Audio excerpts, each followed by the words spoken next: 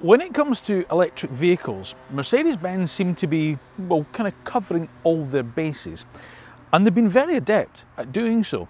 Now, some of their cars they've just electrified, such as the little GLA crossover and the, the, the GLB, sort of like a little SUV, and of course they're called the EQA and the EQB.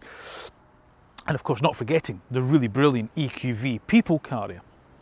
But then they also give us standalone EV models such as the EQE and the EQS, which are not electrified E classes and S classes.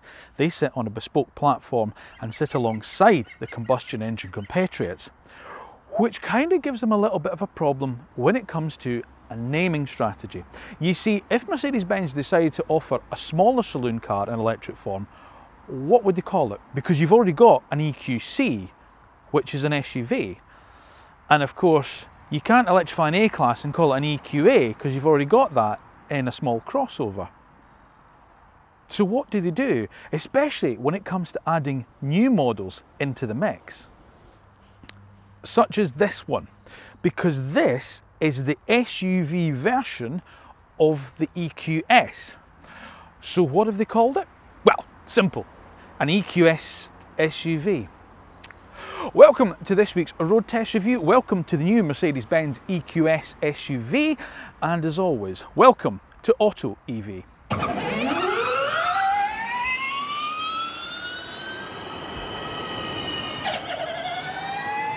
Now, before we get on to this week's road test review of the new Mercedes-Benz EQS SUV, it is of course that time where I ask you to make sure that you are subscribed to the Auto EV channel. And once you've done that, make sure you've pressed the little bell button that's down below because then that way you'll be notified of when our next video goes live. Once you watch the video, if you do enjoy it, make sure you give it a thumbs up. And remember, don't forget, leave us your comments down below as well. Let me know your thoughts on the cars that we review, such as the new Mercedes-Benz EQS SUV, and of course on the Auto EV channel as a whole. Now, given the upward push of SUVs, luxury SUVs, it kind of was inevitable that Mercedes-Benz were going to get in on the act. I mean, of course, we've already seen such established players such as BMW and Audi give us sort of um, six-figure price tags on their um, electric SUV offerings, such as the iX and of course the EQ8 e-tron. But here's the thing, Mercedes-Benz already offer two six-figure luxurious SUVs and confusingly they're also got a weird kind of naming strategy going on because there's the GLS and then the G class. Now the G class of course is like the old G wagon and it's kind of it's kind of a bit more upright, a bit more kind of beloved of people shall we say who like a little bit of rap music and prefer things a little bit kind of murdered out. Whereas the GLS is their kind of Range Rover type of offering almost. But here's the thing, they could quite easily have just electrified the GLS because they've done it before with the other models in the range such as well the EQC and as I say the EQA and of course the EQB and they've been very successful at doing so. But as we know that still carries some compromises whereas if you build on a bespoke platform you can do away with those compromises. So what else were they to do but take the EQS Saloons EV platform and build an SUV on it and here it is. But do we really need another one? I mean, is Mercedes-Benz really kind of just throwing too much behind these ultra luxury electric SUVs? Because remember, we're also going to see at some point, and if you haven't done enough letters so far, an EQG, in other words, an electric version of the G class. So where does this fit in? And is it really necessary? But before we get started on this week's road test review, let's take a quick snapshot at what the EQS SUV is all about. Well, of course, as its name suggests, it is based on the EQS luxury saloon platform, but of course here in luxurious SUV form. The car has a 108.4 kilowatt hour battery, giving a WLTP range of up to 365 miles. There will be a choice of two power outputs in the car, both with dual motors, so all-wheel drive, and they go from either the 360 brake horsepower model or the 544 brake horsepower EQS 580. Its price is going to start between £129,000 and go all the way up to in excess of £250,000 when the Maybach version hits the streets. And of course, it's designed to compete with such cars such as BMW's range-topping iX and of course Audi's Q8 e-tron in its top of the range guises. However, given the number of large luxury SUVs that are currently on the market and yet to appear in the market, do we really need another one? Or am I being a little bit hard on Mercedes-Benz here? Because obviously they wouldn't build the car if there wasn't demand for it. Well, of course, the only way that we're going to answer that is by putting it through the full road test that actual car buyers are trusting when it comes to choosing their next electric vehicle. And that is the Auto EV one. All right, we're going to start with styling as always. And what have we got? Well, we've got another Mercedes-Benz EQ, haven't we really? It's that kind of smoothed over front end that we saw on the EQS and the EQE with a real focus on aerodynamics to aid efficiency.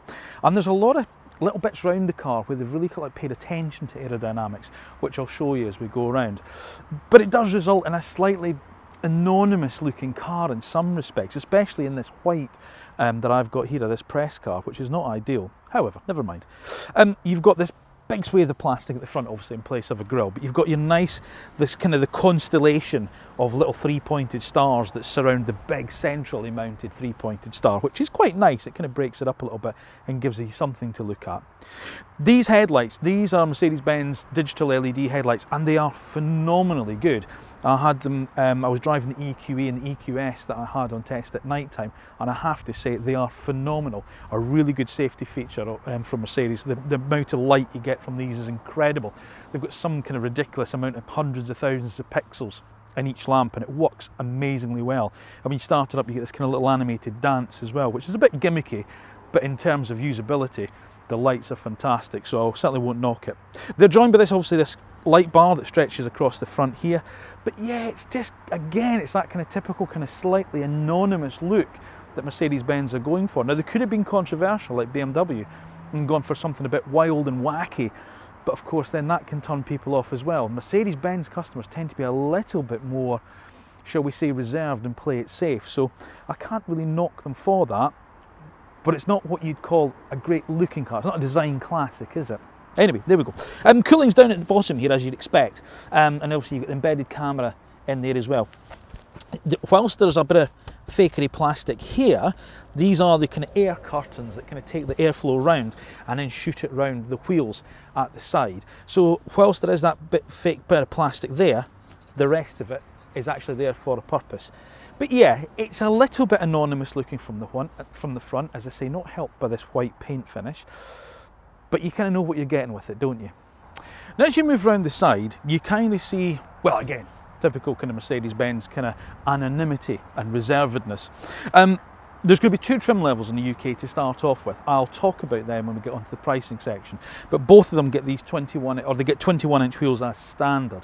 There's nothing bigger than that, thankfully, at the moment. Um, I'm sure that obviously there will as more models become available. As I alluded to, there's going to be a Maybach edition as well. And I'm sure, of course, there's going to bound to be AMG models as you'd expect. But for the now, 21 inch wheels is enough. But there's no real kind of big chunky kind of SUV clues. Now, another little um, caveat here, this is not a full UK spec car. Mercedes-Benz UK haven't managed to get a full kind of proper UK spec car on the press fleet as yet. So there's a couple of things missing off it, which I'll talk about a little bit later. But one of them is um, the side sills, uh, side steps. Sorry, they're going to have side steps um, on the UK cars as well, which are designed to help the airflow around the side. Again, going for that kind of aerodynamic efficiency that Mercedes-Benz are looking at. Um, the door handles are worth talking about. Not often I say that about a door handle, but of course they're the pop-out ones that we've seen on the um, other EQ models as well. And of course Jaguar do them on the I-Pace. But they're illuminated at night, so when they pop out you can see where you're not grabbing around in the dark, as well as they have the little puddle lamp as well, so you can see where you're stepping into. But other than that, it's to say a fairly kind of anonymous and reserved shape as you get round the side of it. It is quite a big car, that's what I will say, because obviously it's designed to be the top of the range SUV as far as Mercedes-Benz are concerned and the UK cars will have seven seats as standard. This is a five seat car that's come from Germany, but the UK cars will all get seven seats as standard, so that's the reason why it is quite a lengthy car. And of course, as you move around the rear, well, again, same story, nothing really sort of like to frighten you off here, is the again, there we go, full width light bar. It's very, very similar in sort of design to sort of the light bar that you get on the, the EQC, the smaller um, SUV. Now there's going to be one in between those two as well. Of course, it's going to be called the EQE SUV, um, which is going to be based on the EQE saloon as well. So I can imagine that pretty much what you're looking at is an EQE SUV, but enlarged slightly. So you won't be shocked when we see that one when we do a road test on that. But it's okay. I mean, I say there's nothing that's going to really scare you off here, but there's nothing really to get you excited about either. There's no real sort of like quirky little bits of design or some nice little touches and such. You get this kind of big roof spoiler here, which obviously has got the sides that come down here again to aid the airflow around the back of the car. And as you go down to the bottom here, you've got the kind of weird kind of little slats here that are almost kind of chromed plastic to make you think of them as maybe as exhaust. I don't know, that's what I thought when I saw it. But this diffuser area here, again, designed to take the airflow from underneath the car and just channel it out the back. Big EQS 450 badge there. Of course, your three pointed star, which doubles as the boot lid release, and of course, the reversing camera when that operates, um, and a rear wiper on the back. That's it. So, in terms of its design, it's familiar Mercedes. It's nothing that's going to say it's going to scare you away from it. But have they done enough? Should they have really maybe taken a slightly more risky kind of path when you look at things like the BMW iX? And of course, you've got the big stature of the things like Range Rover, which again, price wise, this car is going to compete with. And of course, the handsome new Audi Q8 e tron. Have they done enough? Or have they just played a little bit too safe? As always, let us know your comments down below. Okay, practicality wise, what are you looking at? Well, as I say, bear in mind that this car is just a five seat version. As I say, we're going to get seven seat versions in the UK, but the rear seats are quite usable. But if you don't have them in place, then what you have is a boot space of 565 litres. So the, the, the, third row of seats folded down, it will be like this, and that's 565 litres of usable space, which is pretty decent in fairness, and it is a good size, um, a good size of boot, and it's nicely shaped. It's bigger than the BMW iX, because you remember that's only about 500 litres, and it's got this tailgate that you know, as I say, it kind of really intrudes into your headspace. So Mercedes-Benz have got a bit more practicality going on here. Um, you've got some underfloor storage here for some bits and bobs, which I'm sure you probably could fit these kind of cable bags into, but they seem to just be lying loose. Um, but even so, as I say, you've still got a relatively amount of sort of like practicality there.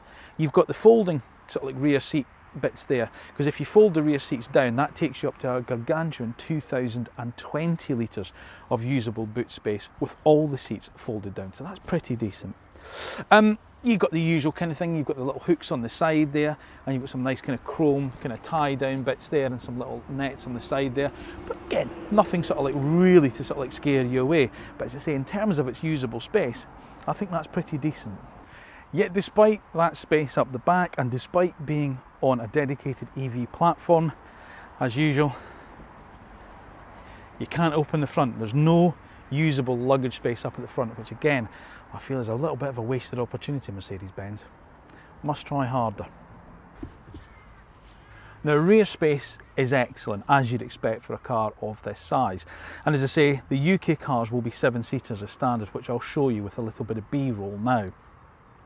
But getting in and out of the second row, in terms of what the car I have here, what's nice and easy, because actually, although it's an SUV, it's not that much of a climb up in fairness.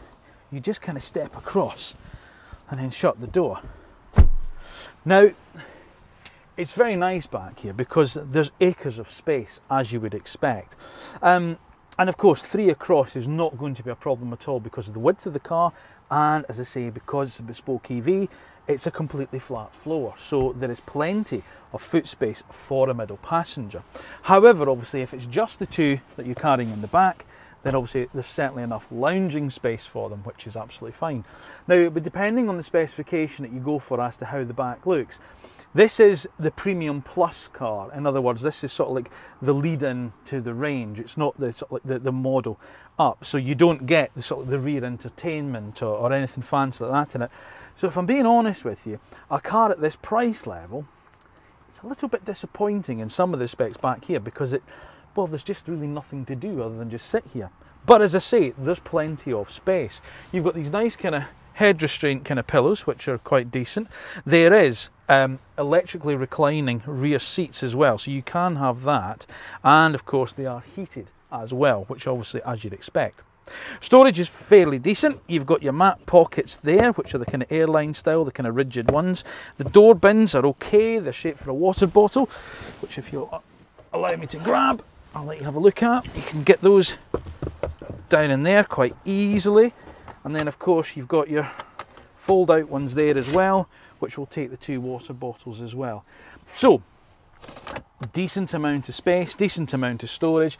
Headroom's good as well. Again, because the car is the seven seat, the roof line goes all the way back. And even with this big glass panoramic roof that's in it, I've got absolutely acres of space here. And I think even if you're six foot tall, there no one's going to feel shortchanged in the back of an EQS SUV at all. Rear climate control system, um, which is obviously there. And if you flip down the little part there, you've got two USB-C sockets.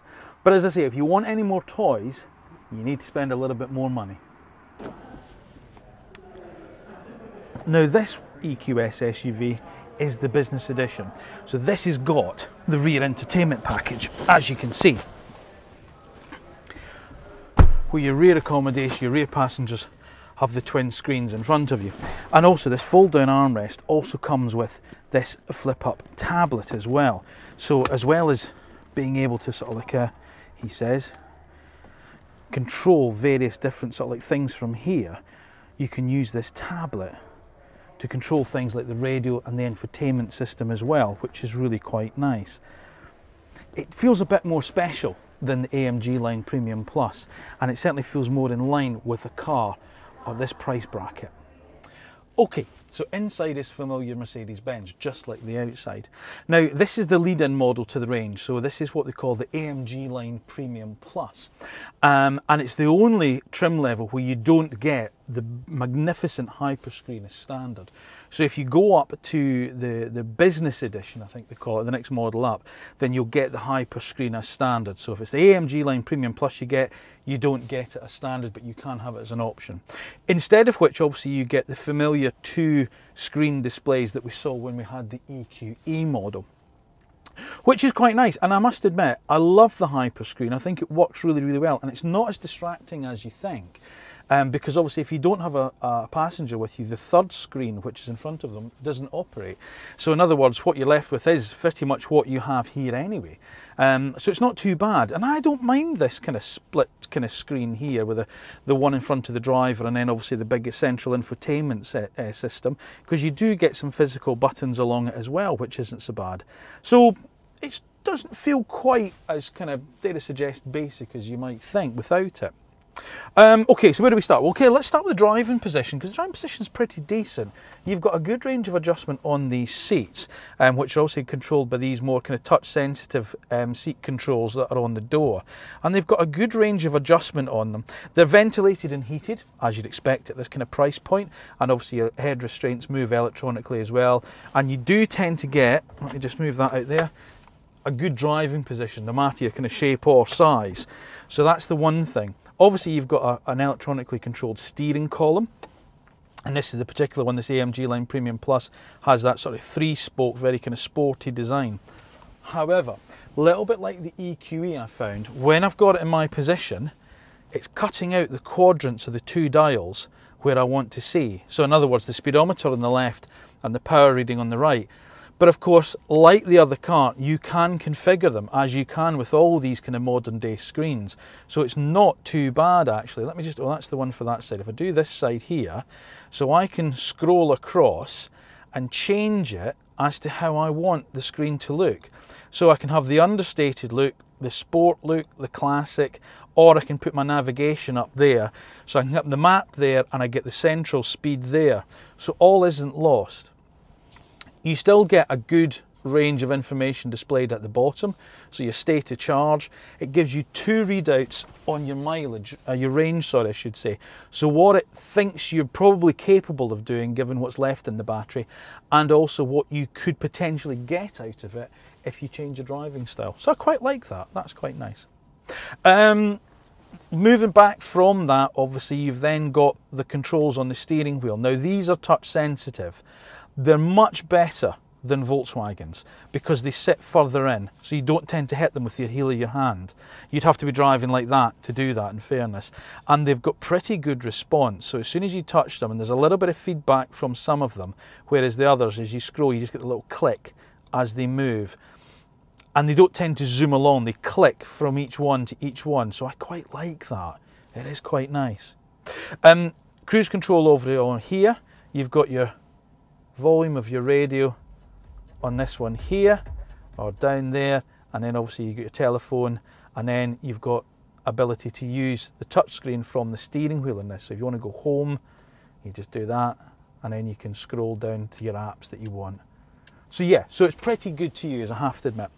If you do want to use the screen, it's nice and simple and it's very quick and very responsive to use. Your climate menu is always on at the bottom, so you just press it and it brings it up there. Um, but as I say, if you just want to adjust temperature, they're always there, and I see you get that nice kind of click to know that you've actually done it. But you can go into a, a further menu if you want to adjust, um, you know, airflow distribution, um, airflow into the second row of seats, the air quality, or your pre-entry kind of climate control system so you can set it up to get the system um, working before you, you depart in the morning. So you want the car to heat up or cool down, you can set a time in there. All very, very quick and easy. Um, I'm not going to go too much into this because I say we've covered a lot of this before anyway, so there's no point. But what I will say is you do get a very good navigation system, very responsive, very easy to use, exactly as you would expect to find from a company like Mercedes-Benz. Obviously, you've got things like Apple CarPlay and Android Auto as well, so you can just hung, uh, hook up your smartphones and use um, use the functionality from them as well if you want. Um, along the bottom here, you've got your driving uh, dynamic button here. So again, depending obviously on what you want. So eco, um, comfort, sport, um, individual, where you can set everything else up yourself. And there's also an off-road mode as well. So you can set up an off-road um, functionality as well on if you are kind of taking the car off the beaten path. So that's another addition you've got on the SUV models. Um, you've obviously got your all-round uh, parking camera, which is spooky and bit of witchcraft, which I think is incredible how cars do that these days. But there you go, you can actually see around your car if you use that. Um, and then obviously you've got further things you can change the functionality of. So your head-up display, which is really good, which comes up in front of you here. Um, you can change that, how that um, works. You can change things like the active lane keep assist, the active steering, um, and all your other settings, they're all in there. Um, hazard warnings, fingerprint recognition, turning the screen off, and a volume control there with some really bad music on it. Storage, storage is excellent. So you've got these little flippy out cup holders, which you just touch the bottom of and they will wrap round your, your bottle. Wire, wireless charging pad in there, or you can cover the whole thing up as well. Two USB ports down in there.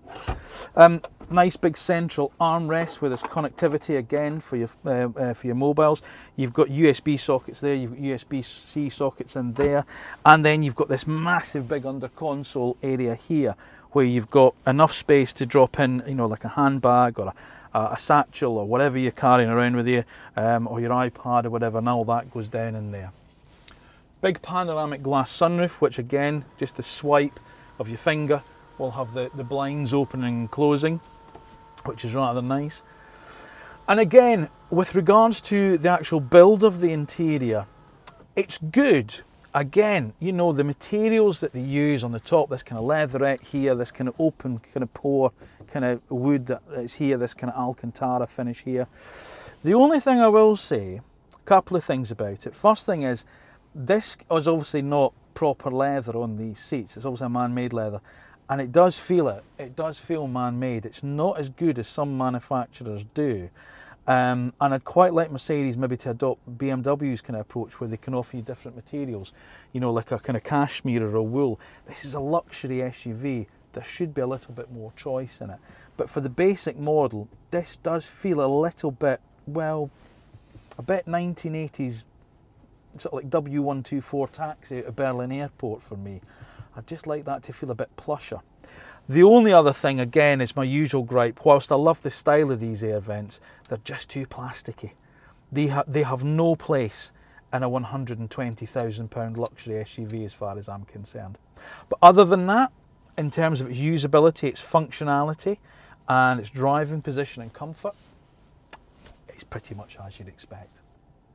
Now the battery on the EQS SUV is a gargantuan 108.4 kilowatt hours, um, which should give, according to WLTP figures, a range of up to 365 miles. And I've always found Mercedes-Benz cars to be relatively efficient. Bear in mind this is a big old car and it's a real heavy old thing. But that aero efficiency with the styling really does pay off and it does help it achieve a relatively decent efficiency. Now charging speeds, well they're good at 200 uh, kilowatts if not revolutionary and there's no kind of vehicle to load and no 800 volt architecture here which again other manufacturers do offer so that's a little bit of a, a little bit of a shame. Now obviously if you can find a charger capable of delivering the 200 kilowatts um, such as the Ionity ones for instance then you can go from your usual benchmark of 10 to 80% in just over half an hour. However, bear in mind the size of this battery, if you've got a 7 kilowatt wall box at home and you come up and you've got absolutely zero miles left in it and you put it on charge, it's going to take nearly 17 hours to top this Leviathan up to 100%. Now, as I say, there's two powertrains available um, with the EQS SUV, both obviously dual motor, four wheel drive, all wheel drive. Um, so you have the choice of this, which is the EQS 450 um, and that will give you 360 brake horsepower. And that will give you a 0 to 60 time round about the six seconds mark which is plenty fast enough let's be honest for a big SUV that's only a couple of hundred kilos shy of three tons. But if you do want more then obviously you can jump up to the EQS 580 and that will take the power up to 544 brake horsepower. And that will bring down the 0 to 60 time to or just over four seconds. Now you're hearing a little beep there, and that's because this is this car's set up as I say as a German spec car, and it's, it's telling me I'm going over the speed limit at 70 mile, 70 kilometers an hour, but I'm in a 50 mile an hour zone. So apologies for the interruption there. If you want more power than even the EQS 580, then as I say, the recently shown EQS Maybach edition well, that's over 649 brake horsepower. And of course, I am sure there is going to be a plethora of AMG models around very, very soon as well. But at the moment, we're dealing with the, lead-in car, which is this, the, the, the EQS 450. How does it feel? Well, it's fine. As I say, I don't have an issue with this car at all in the way it drives. Um, it, it, performs perfectly adequately as you would want, sort of like, you know, from a big sort of like you know, sort of like say, nearly three ton Leviathan of an SUV. I mean, it's picks up its skirts and goes along quite happily. I don't see a massive problem with it, to be honest with you. But it does feel its weight. That's the one thing that I will say about it. The car does feel its weight. You can't disguise that weight in this car. So if you're thinking that you want to get one of these and start tearing round sort of the roundabouts of Milton Keynes where I'm up test driving the car today, then I maybe choose something else because I say you can't really disguise the weight of this car. Now you can change um, obviously the driving modes as I said earlier as I alluded to. So you've got um, eco, comfort, sport and individual. You can't, it says you can't use sport with a roof load. So if you've got a roof box on the top, obviously you won't be able to use that. So let's try it in sport mode and let's see how that feels with it as well. Um, while I'm waiting on the lights change, what can I tell you? Well, I say the driving position is very, very good. It's very nice, very comfortable. You've got a good range of adjustment on the seat.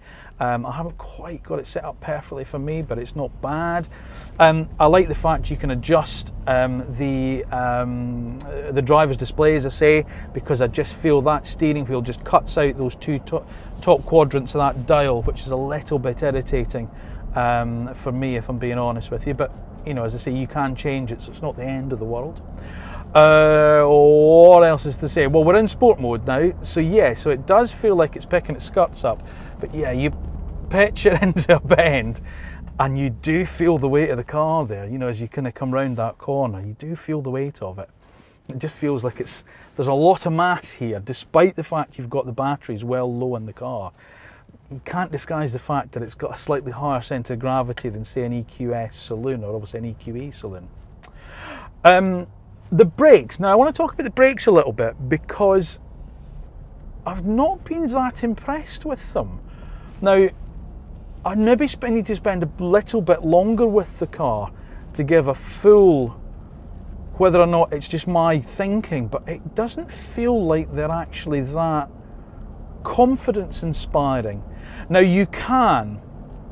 Um, you can adjust the, the brake regen um, through the paddles behind the steering wheel. Um, so you've got strong recuperation, uh, normal, or off completely. So if you're on the motorway, you take it off and the car will just coast along. Now that's good for efficiency. That's what you want on a motorway. And then if you come into town, you know, so you can ramp it up to normal or strong. I can't see some traffic lights here and I'm not even touching the brake pedal and the car is slowing down to a halt on the strong recuperation. So you do have effectively one pedal driving with it and that is really very good. I do like that. You have a further mode, so if you pull on, uh, so you pull the, the left paddle and hold it back, then it goes into intelligent recuperation. Now we've seen this on other cars before, so obviously it judges where the car is, so it'll use the GPS locator, so if you're coming up to a roundabout, for instance, it'll slow the car down, or if the car in front, we've got a big truck in front of me at the moment, if it slows down and I don't touch the brake, the camera will pick it up and it'll start to apply the brakes as well, even if the cruise control is off. I really like those intelligence um, brake regens. I think they're really clever and they're really like the way they're easy to use because you know if you get that little momentary lapse of concentration, um, then obviously it kind of kind of comes into effect. But also as well, maybe if you're maybe in slightly unfamiliar territory, um, or actually you've just come off the motorway and you've had the regen off, or you don't need the regen, it will pick that up. I've used it on the BMWs um, sometimes when I've been going up and down to Scotland, and um, and I must admit, you know, with intelligent recuperation, it's very good because I say it feels cars going in front of you, so I like that. That's good. Uh, the steering, well, I say the steering, I'm still in sport mode. It, it's all right. You know, there's a a tiny little bit of deadness in the dead ahead, and you do feel the sort of the electronic assistance a tiny little bit as well. You see, there we go. It says I'm going over 60 kilometres an hour. Well, I am because I'm in a, a 40 limit. Anyway, there we go. Um, but as I say, it, it's it, it is a good car.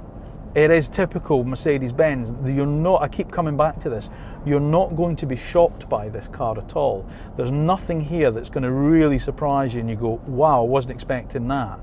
It's everything you expect. If you've you know, been driving current Mercedes-Benz product and you move into electric for the first time, then again, everything will be familiar to you. The operating system, the MBUX operating system, I think, is one of the best out there. Um, and it's voice activated as well. So despite the sort of lack of physical controls that you get um, some of the, in some areas of the cabin, the way that you can interact with the car is really very good. Um, and again, it's you know, as I say, one of the best I've used. Certainly with somebody with a strong accent like me, if it can recognise my accent, then people who can talk proper English won't have a problem with this car. So that's good. So it is a relatively easy car to sort of live with. But I'm just I'm just coming back to the whole was this the right car for Mercedes Benz to give us? I'm not sure about that. That's the one thing because they say it's a big old Herbert of a car. And whilst it is very, very nice and very, very comfortable, there's an element of me that feels that despite the price level, this AMG line Premium Plus at £129,000 doesn't feel special enough. You know, you look at the likes of the Genesis, the GV70. I know it's a different type of car. I know it's a different um, uh, trim, sort of like size of car and all the rest of it.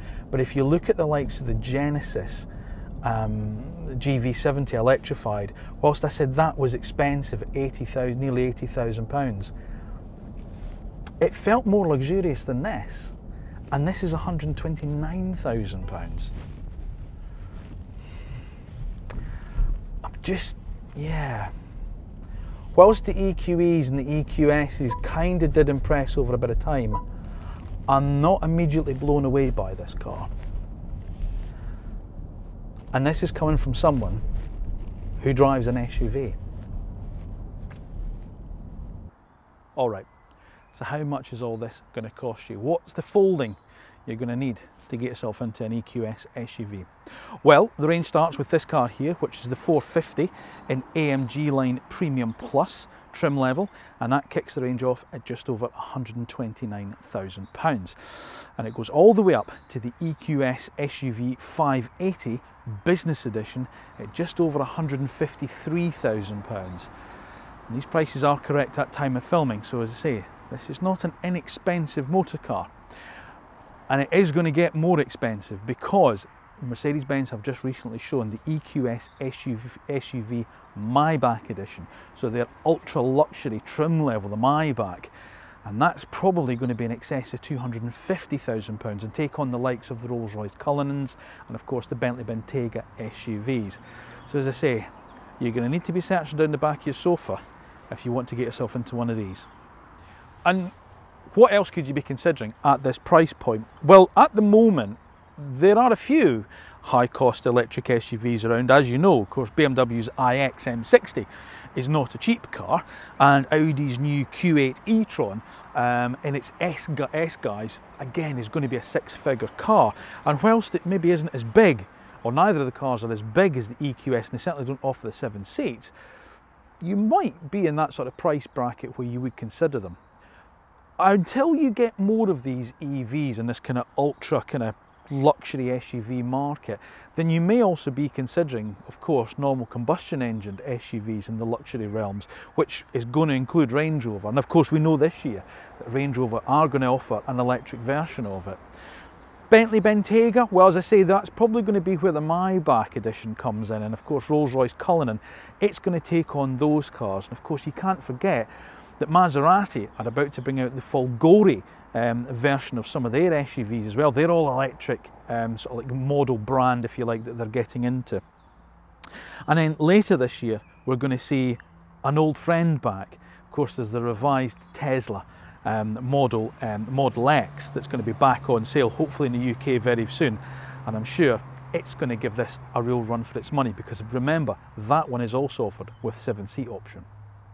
So here's what we like and what we don't like about the Mercedes-Benz EQS SUV. We like its spacious interior. It's smooth and refined to drive. It offers a decent range. It's comfortable. And of course, the Mercedes-Benz UX operating system we feel is one of the best out there. We don't like, well, it feels its weight when pushed. The styling is a bit bland. It's very expensive. And the entry level trim doesn't feel luxurious enough for the price Mercedes-Benz are asking for it. So, what are we to make of the Mercedes-Benz EQS SUV? Well, it's relatively nice to drive, but then you'd want that, wouldn't you, given the price point the car's at. And we know how good Mercedes-Benz electric products have been because we've always come away very impressed with the standard EQE and the EQS, not to mention the combustion engine cars that they've, they've electrified, so the EQA, the EQB and the EQV. So yes, in that sense, it does what it's meant to do. My only gripe is this. Does the world really need another near three ton, massive, six figure price tagged SUV. And that's the one thing that I've come away from today feeling. Whilst the car does impress, it doesn't blow me away. It's kind of like they've just given us a car because they're expecting that's what people want. And therein is the little bit of the downside. Mercedes-Benz are only doing what we're buying at the moment, which seems to be big, heavy SUVs. And I'm not sure that they shouldn't have been a little bit more brave. And a company with engineering might of Mercedes-Benz, should they not be giving us something a little bit more daring? Should they not maybe have now come along with sort of like say, maybe more of a kind of lightweight kind of family, sort of like, you know, sort of like C-class size of car that has the kind of luxury trappings and the engineering quality you expect of a Mercedes-Benz, but using their engineering might and know-how to make something that's a little bit more well, lightweight and a bit more efficient. They should be taking on Tesla, in my opinion, trying to get sort of like those kind of run-of-the-mill cars that people are buying, such as say C-class style cars, you know, or, or, or even sort of like newer versions of like the little A-class hatchback, electrifying that. Did we really need this car? Well, the only reason they've given it is because we keep buying them. Thank you once again for watching yet another edition of Auto EV. As always, please make sure that you are subscribed to the Auto EV channel. And when you've done that, press the little bell button that's down below because then that way you'll be notified of when our next video goes live. If you've enjoyed the video, make sure you do give a thumbs up. And as I say, make sure you leave us your thoughts and comments section down below. Do you agree with me? Do we really need another big, heavy SUV? Or, as I say, are you just saying that, well, Mercedes are only doing what everybody else is and who can blame them? As always, let me know your thoughts down below. Now remember, we're across all social media platforms as well, so Facebook, Twitter, Instagram, LinkedIn, and even TikTok now. So please go and give us a follow there too. And if you're just dying to see even more road test reviews of all the latest new electric cars to hit the UK market, then make sure you stick on our YouTube channel because there is an absolute plethora of videos there just waiting for your viewing pleasure. Not just road test reviews, but used cars, um, electric icons, motorbike reviews and even van reviews as well. So make sure you give those a watch too. All that remains for me to say is thank you once again for watching and continuing to support Auto EV. And I'll see you again soon.